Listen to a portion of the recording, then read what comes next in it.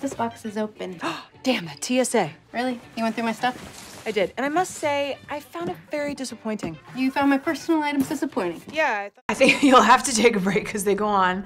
Um, my hope is, which uh, was something I wouldn't have foreseen on the old show, I hope people really watch it on a screen um, that is bigger than a Pop Tart. Um, that is, uh, uh, you know, the, the scope of these shows, they're longer they're they really have a more cinematic feel. It really is these mini movies, and at least the first time, I beg of you to watch it on on, a, on an actual screen to get the full effect. And then if you want to carry it with you, um, you know, and watch on the phone or whatever later. But that's that's my anxiety as as for all the work we put into it and how much we love it. We just want people to see it in its full with its full impact.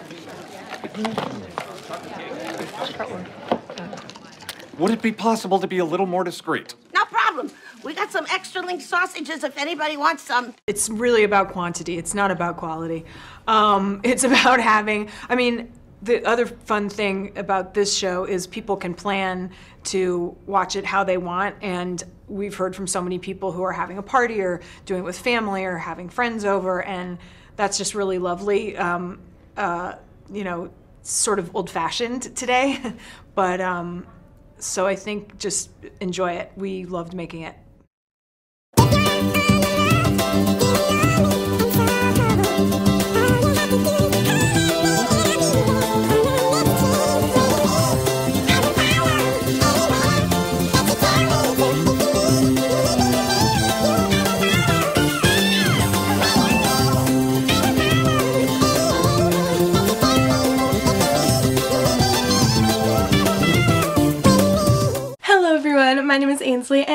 Welcome back to my channel. It has been a while since I've done a book tag, so I decided it was time and I found a tag that I thought was rather fitting for the occasion because I have recently started binge watching Gilmore Girls and um as one would expect, I am slightly obsessed. So I'm going to be doing the Gilmore Girls book tag. I love Gilmore Girls. If you have not watched Gilmore Girls, this tag will have no spoilers, but it will also probably mean nothing to you. So I recommend you go watch the show, definitely for sure, because it's fantastic. So question number one is Lorelai. Name a witty or sarcastic character, and I'm gonna go with Karou from the Daughter of Smoke and Bone trilogy by Laini Taylor. Karou and Lorelai have like kind of similar senses of humor. They're very witty and very clever with their jokes and very quick on their feet when it comes to making sarcastic comments. I love both of their senses of humor so much. They're two of my favorite characters of all time. I mean, to be perfectly honest, I think we all wish we could be Lorelai Gilmore, but unfortunately we can't. Some of us relate more strongly to Luke or even Michel. Question number two is Rory Gilmore. Name your favorite classic novel. And for that, I gotta go with The Tenant of Wildfell Hall by Anne Bronte. I've mentioned this many a time here on my channel, but I'm gonna say it one more time. If you haven't read this book, definitely read it because it is one of the most underrated classic novels out there, which just hurts me a little bit because it is such a fantastic book. It is so powerful, so well written, such a compelling story. I was so captivated, I could not put it down. And on top of that, it is so progressive. It can be considered feminist even by today's standards. I think it's such an important book and Everyone needs to read it. It is one of my favorite books of all time. It is so, so wonderful. Question number three is Luke. Name a book you secretly love but are afraid to admit it. And unfortunately, I am unable to give you an answer for this question. I am proud to love all the books that I love. I have no shame about loving any of the books that I've ever read. Question number four is Lane, a musical character. And for this, I'm going to choose Katniss Everdeen from The Hunger Games. I haven't talked about The Hunger Games like ever ever. I just, I don't know, it's just one of those books that I haven't read in so long that I just keep forgetting to mention it, but I love this series like everyone else. I love The Hunger Games. Katniss is not my favorite character though, but I still really respect her as a character. I really think she's an interesting character even though I don't like her all that much, but one of the things I did really enjoy about her was how she loves singing and she'd always be singing. It's just something that I remember about her even though it's been so long since I've actually read the books, so I thought I'd mention her for this question question. Question five is Dean, your first love. Name the first book or the first character that you loved. And the first book I loved would have to be the Nancy Drew series by Carolyn Keene. Nancy Drew was a childhood staple. I loved those books. To this day, I love those books. I read all the different versions. I read the OG classics. I read the 80s case files. I read them all. I love them all. I still love them all. I read Nancy Drew on occasion. It's like such a nostalgia trip. So good. Next up is Sookie. Name a book that you devoured and that would have to be The Unbecoming of Mara Dyer by Michelle Hodgkins. I read this entire trilogy over the course of two days. Enough said. Next up is Jess, who I actually have not met yet. I have not made it that far in my Gilmore Girls journey, so I don't know who Jess is, but I know that everyone loves Jess. Like everyone wants Jess to end up with Rory story. And no spoilers, I haven't made it to the revival yet. I don't want to know what happens. The question for this is a book you love but that gets the most hate. And for this I'm to go with Throne of Glass by Sarah J Maas. There are a lot of haters out there. There are a lot of people who love this series but there seem to be an infinite amount of people who hate it. And I understand, I see where you're coming from, trust me, but I'm in too deep with this series. I love it so much. It's probably unhealthy. Uh, but I'm at the point where I don't even care. Miss Patty, a book that was ruined by the hype. The Wrath and the Dawn by Renee Ahdieh. Honestly, I think I would have disliked this book regardless of the hype, but I think the hype just added to my dislike for it because this book was hyped up to be like the next big thing, the next Lunar Chronicles, the next Infernal Devices, the next Throne of Glass, and this book is not even in the same category. Like I feel bad mentioning these series in the same sentence. I just really did not like this one, unfortunately, because most people seem to. Next up is Emily Gilmore. Name an expensive book. And for me, that would have to be Harry Potter illustrated editions because these things go for like 40 bucks a pop, which seems slightly ridiculous to pay for a book, but then you open it and it's like Money? What is money? Give me all of these, please, because they're so pretty, so beautiful. And last up is Paris. Name an uptight character. Now, I know everyone loves Paris for some reason, but once again, I have not made it far enough in Gilmore Girls to get to that point because Paris drives me insane. I cannot stand her. I cannot. I cannot stand She's horrible. The worst. The absolute worst. So I feel bad comparing this character to Paris because I love this character and that would be Andy from The Unexpected Everything. Andy is super uptight. She has to be kind of because of the situation she's in. Her dad's a politician. She can't risk ruining his image in any way. Throughout the book she definitely learns to loosen up and to kind of go with the flow and that not everything has to be planned and it's okay to be spontaneous every once in a while. I love Andy. Andy's a great character. I love this book, by the way. Very good book. You should read it. And there you have it. That was the Gilmore Girls book tag. I'm not to tag anyone because I feel like anyone who likes Gilmore Girls has already done this tag. So I'm just to say if you like Gilmore Girls and haven't done this video, I tag you. Thank you so much for watching. I hope you enjoyed this video. Have a great day and I will see you soon. Bye.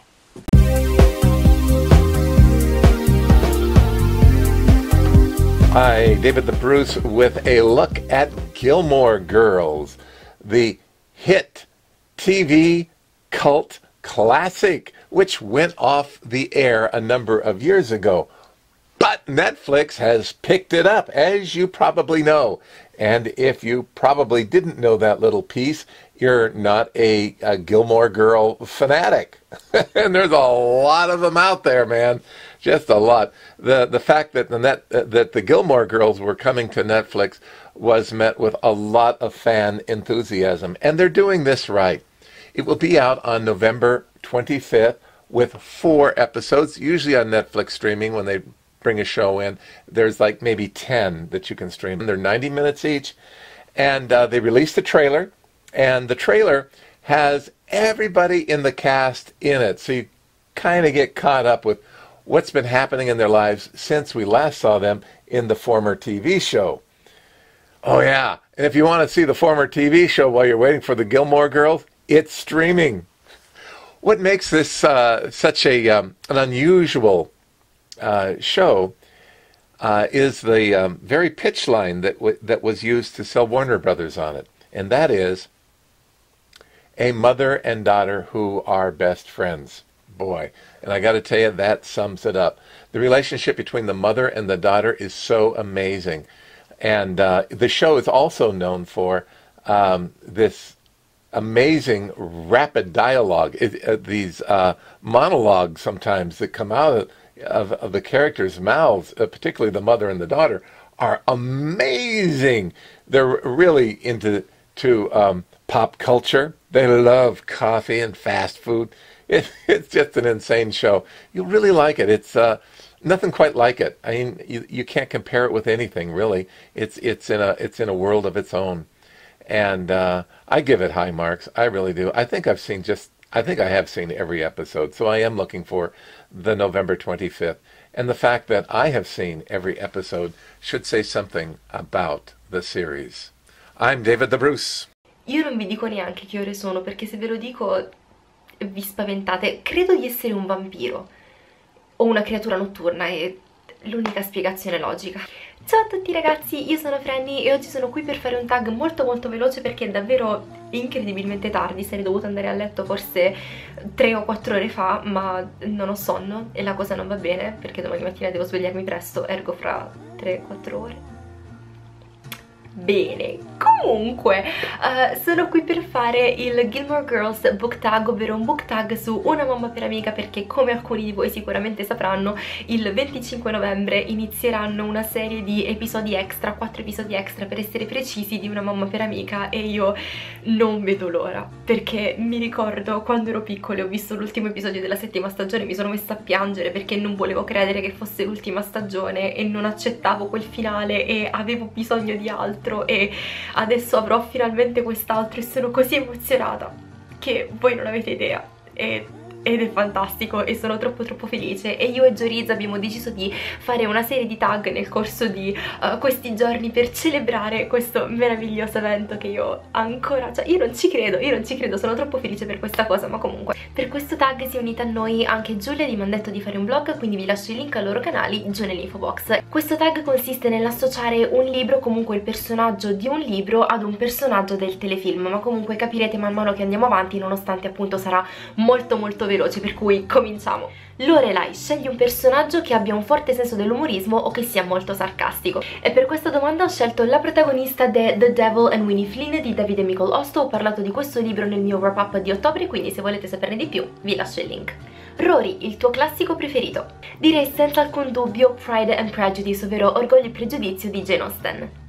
Luke, un libro che ami ma non sei pronta ad ammetterlo. Per questa domanda non penso di avere un libro, perché se amo un libro per quale motivo non dovrei dirlo, per cui moving on. Lane, un personaggio che abbia talento musicale. Direi senza alcun dubbio Kestrel di The Winner's Curse, lei è la protagonista di questa serie, serie che tra l'altro adoro perché ha una forte componente politica e adesso che ci penso io devo ancora leggere il terzo libro di quella serie. Hmm. Dean, il primo libro che hai amato. Il primo libro che ricordo di aver amato, a parte, vabbè, tutti quelli di Geronimo Stilton che diciamo non contano, è La bambinaia francese di Bianca Pizzorno. Suki, un libro che hai divorato. Maybe Someday di Colin Hoover, l'avrò letto nel giro di 7-8 ore Jess, un libro che tu ami ma tutti gli altri odiano. Shatter Me di Tara Mafi e capisco perché tutti quanti lo odiano perché effettivamente la protagonista Juliet è molto difficile da apprezzare e comprendere ma io sinceramente mi ci sono molto ritrovata in lei, capisco la sua situazione, capisco perché è fatta in un determinato modo considerando quanto è stata segnata dalle sue esperienze passate e vederla crescere nel corso della trilogia è stato sensazionale. Mi spatti, un libro che ti è stato rovinato perché tutti non facevano che parlarne. Per questa ho scelto Empire of Storms di Sarah J. Maas, non perché questo libro mi sia stato rovinato, ma per il fatto che sebbene io volessi leggere questo libro in modo assurdo prima che uscisse, non vedevo l'ora che uscisse, ho contato i giorni che mancavano all'uscita di questo libro, non l'ho ancora letto, sebbene sia passato più di un mese, più di due mesi, perché quando è uscito tutti lo stavano leggendo, tutti ne stavano parlando e io non ce l'ho fatta, mi era passata la voglia di leggerlo, ma comunque non vedo l'ora di leggerlo e spero di riuscire a farlo presto. Emily Gilmore, un libro costoso. S, la nave di Teseo, per la bellezza di 35 euro. Paris, un personaggio molto rigido, molto sulle sue. Vin della serie Mistborn di Brandon Sanderson perché Vin è un personaggio che ne ha passate tante, che non si fida facilmente, che è molto sulle sue e guarda gli altri con molta attenzione e paura, per cui decisamente Vin. Richard Gilmore, un personaggio di cui non riesce ad accettarne la morte. Proibito, di Tabita Suzuma, chi ha letto questo libro sa a chi mi riferisco.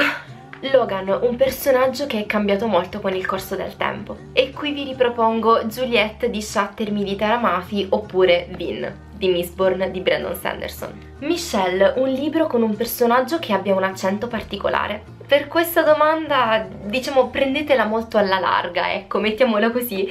Vi mostro Dance on My Grave di Aidan Chambers perché in questo libro c'è una ragazza che ah, cos'era? Finlandese, norvegese, non mi ricordo, ma comunque era straniera e quando parlava inglese con gli altri personaggi loro dicevano che si sentiva un accento, per cui lei. Christopher, un personaggio che faccia parte di una OTP fandom ed in questo caso direi Warnett, Malek, scegliete voi.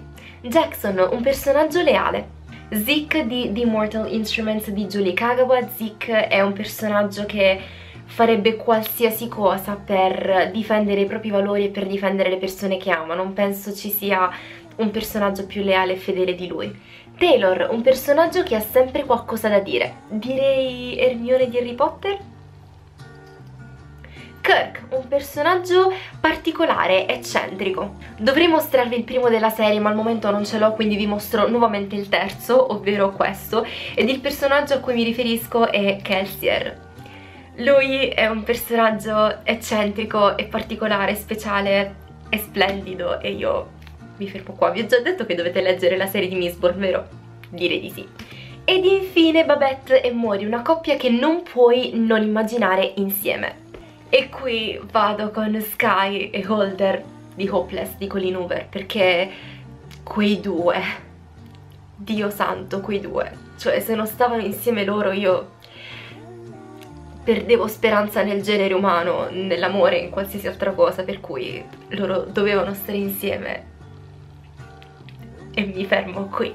Beh, e questo tag molto molto veloce si conclude qui, spero che questo video vi sia piaciuto e noi ci vediamo alla prossima probabilmente con il prossimo tag su una mamma per amica, per cui spero che questo video vi sia piaciuto e noi ci vediamo presto. Un bacio ragazzi! All you have to do is call my name and I'll be there on the next train where you lead. I will follow anywhere.